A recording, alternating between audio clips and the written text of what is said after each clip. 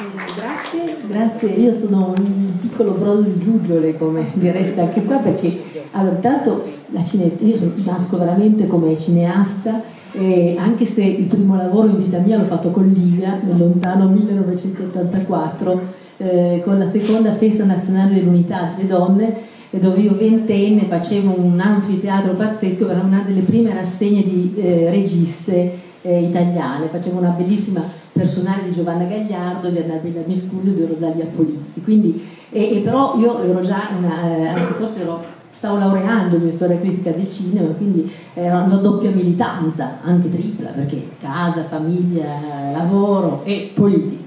E, e, e quindi a Rimini, voglio dire, cioè, una cosa stupenda, la, la, la patria di Fellini innanzitutto, no? Poi in questa cineteca meravigliosa vorrei ringraziare anche Leonetti perché è un mito anche il fatto che ci siano delle cineteche e che ci siano dei cineclub e che ci siano dei posti dove una volta eh, quando io mi sono avvicinata al cinema, anche se sono già della generazione professionalizzata, in realtà l'ho fatto per uno slancio etico-politico, ci sembrava che il cinema eh, fosse una rivoluzione eh, non violenta molto importante, ma era comunque una rivoluzione, ci raccontava delle cose eh, dei nostri stili di vita, ci raccontava di come risolverli, il Prato dei Fratelli Italiani per esempio dove c'era Isabella Rossellini che andava a occupare le terre insieme ai suoi amici, per me è stato un film che mi ha, mi ha cambiato la vita, quindi era un periodo in cui i film cambiavano la vita. E quindi insomma questo così come bravo. E, e, dopodiché questo, questo intanto mm, quando la Fondazione Iotti appunto e Lilia mi hanno chiesto di pensare, di dare un'idea, di, di dire qualcosa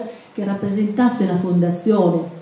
che io conosco dalla nascita e, e, mm, ho pensato, ho cercato di capire che cosa già c'era di Nilde Iotti. In effetti di Nilde Iotti non sono abbastanza cose, in particolare voglio citare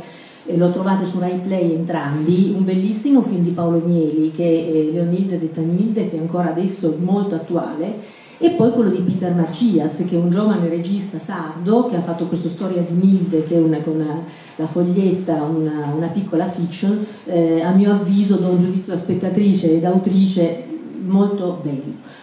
la fondazione voleva una cosa più personale, ha incaricato me appunto perché in qualche modo le ho seguite, abbiamo fatto tanti anche piccoli corti insieme, molte campagne da, appunto da, dall'84 in poi. E quindi io mi dicevo ma che cosa devo, non posso fare un ulteriore eh, ritratto di Nilde perché sarebbe anche fuori e poi mi, mi, chiedevo perché avrei anche potuto fare e proporre come idea un altro ritratto di Nilde perché come voi sapete ognuno ritrattista fa dei ritratti diversi. Ma invece mi dicevo ma soprattutto un giovane oggi che vede. Io mi ricordo da piccola c'erano sempre le filmine della San Paolo, no? sulle vite dei santi, che erano molto belle, però come dire, erano veramente molto lontane al di là del messaggio poi della parabola. No?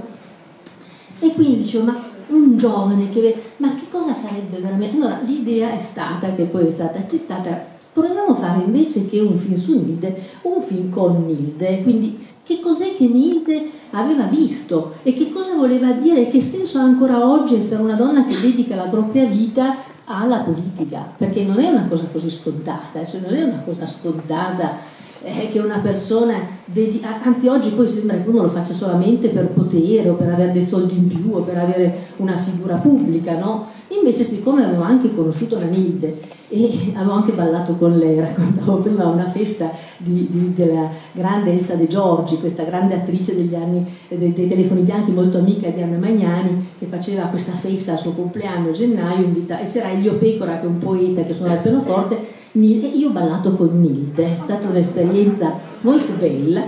e poi mi ricordo alcune riunioni dove era una persona veramente di grandissima semplicità, di grandissima... Eh, molto ferma sulle cose che diceva, non aveva nessuna, nessun atteggiamento, no? e quindi era una persona, come si direbbe eh, con termine desueto, molto autentica. E quindi dicevo, ma io, niente, cosa, mi, cosa devo fare? Cosa devo dire? E lei mi diceva, no, ma guarda, non parlare di me, parla della storia d'Italia, di quello che ho visto, di quello... E insomma, questa era la cosa. Quindi l'idea era di fare un film con lei e non su di lei. E poi, l'altra cosa eh, molto importante, vengono fuori, grazie a Graziella Falconi e all'associazione Enrico Berlinguer, moltissimo materiale del tutto inedito che erano i suoi discorsi, quindi discorsi che lei aveva fatto ai comitati centrali, alle direzioni, che anche lì non erano mai stati usati perché comunque materiali estremamente eh, ad una visione molto superficiale, estremamente complessi, eh, scientifici direi quasi, no? politica seria. Noi siamo messi a trascrivere, tanto nessuno li aveva mai trascritti, quindi noi abbiamo detto ma iniziamo a trascriverli, è sempre, sempre un, servizio, un servizio che facciamo. E poi pian piano ci accorgevamo che c'erano interi pezzi di questi discorsi che ritenevamo di un'attualità straordinaria. Insomma, quindi questi discorsi inediti hanno fatto poi sì che il titolo diventasse non solo con gli occhi di Nilde insieme a Inde, ma veramente con voce di Nilde, perché c'è questa voce di Nilde. Poi ci sono tutti questi pezzi di repertorio che appunto non riguardano la vita di Nilde, ma la, la storia d'Italia, eh, di, di, dei 70 anni che lei ha attraversato, e grazie agli archivi di Raiteche, dell'associazione dell'archivio audiovisivo del Movimento Operaio Democratico, che è una fonte enorme di, di materiali e eh, dell'associazione Berlinguer. Tra l'altro c'è anche un piccolo omaggio a tre registe eh, scomparse che sono Annabella Mescudo, Rosalia Polizzi e, invece anche Alessandra Bocchetti che non è scomparsa anche se non fa più molto politica attiva e quindi che ho voluto anche mantenere come piccola, piccola antologia anche perché comunque eh, costruire un percorso di materiale di repertorio è anche sempre rispettare chi li ha girati, perché noi siamo di quella scuola che dicono che non esiste la finestra sul mondo, ma è sempre, un, è sempre un'interpretazione, è sempre un inquadramento, è sempre un'inquadratura, no? Quindi, eh, e infatti abbiamo anche lasciato per esempio eh, le citazioni dei programmi dentro cui questi materiali erano stati usati, non li abbiamo, ehm, non li abbiamo cancellati perché c'è questa traccia anche del tempo, del palinsesto, del tempo che si sedimenta su questa eh, storia delle immagini che fanno poi la nostra visione del mondo. E quindi insomma la sfida era questa, quindi mm, fare un, un incontro con Nilde, effettivamente il tuo lapsus che hai detto e siamo qua con Nilde e con la mia speranza è che anche voi possiate con questo piccolo film percepire di essere insieme a lei